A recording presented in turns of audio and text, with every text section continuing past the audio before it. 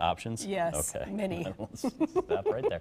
Many kids enjoy spending time with grandma and grandpa, but it's not too often you see grandchildren hanging out at senior centers. But a unique program is bringing these generations together. Fox 6's Laura Langamo explains.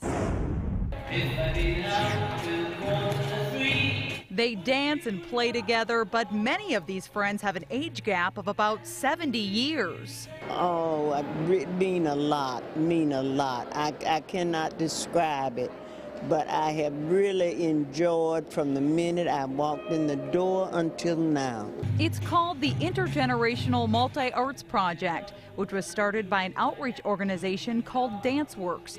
The program pairs Milwaukee schools with senior centers to promote cross generational relationships. children that are in school and don't have a lot of physical activity or creative outlet, and then elders in our community that may be dealing with isolation or dementia related conditions. The students and elders build friendships by working together to create visual art and dance. I believe the creative process in general opens ourselves up to exploring who we are uniquely as individuals After spending 12 weeks together, the students and seniors performed their dance pieces at the Milwaukee Art Museum.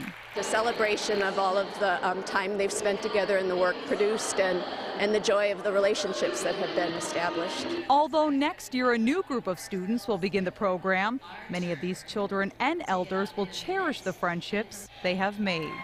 In Milwaukee, Laura Langamo, Fox 6 News.